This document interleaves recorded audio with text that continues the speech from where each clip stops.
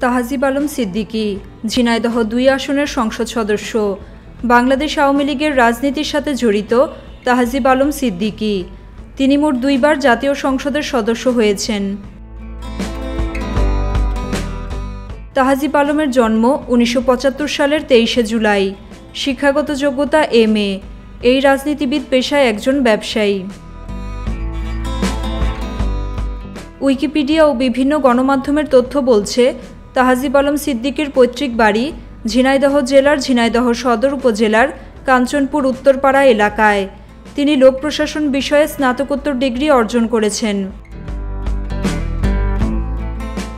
পেশায় ব্যবসায়ী তাহাজিব আলম সিদ্দিকী রাজনীতির সঙ্গে সক্রিয়ভাবে যুক্ত আছেন। তিনি দুই হাজার চোদ্দ সালের সংসদ সদস্য হিসেবে নির্বাচিত হয়েছেন। দুই হাজার আঠারো সালের একাদশ জাতীয় সংসদ নির্বাচনে তিনি পুনরায় সংসদ সদস্য নির্বাচিত হন।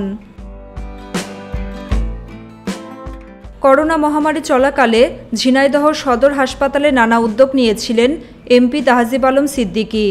পঞ্চাশটি করোনা শয্যা থেকে বাড়িয়ে একশো পঞ্চাশটি শয্যা করা হয়েছিল। এছাড়া করোনা রোগীদের জন্য বড় সাইজের নব্বইটি এবং ছোট সাইজের একশো পঁচাত্তরটি অক্সিজেন সিলিন্ডার, দুইটি ডি ডাইমার মেশিন, যা করোনা রোগীদের জন্য কিডনির রক্ত সঞ্চালন পরীক্ষা করে এবং পোর্ট্রেবল এক্সট্রা মেশিনের ব্যবস্থা করা হয়েছিল। চলতি বছরের স্থানীয় সরকার নির্বাচনে আচরণবিধি ভঙ্গের অভিযোগ উঠেছিল ঝিনাইদহ দুই আসনের এমপি তাহাজিব আলম সিদ্দিকির বিরুদ্ধে।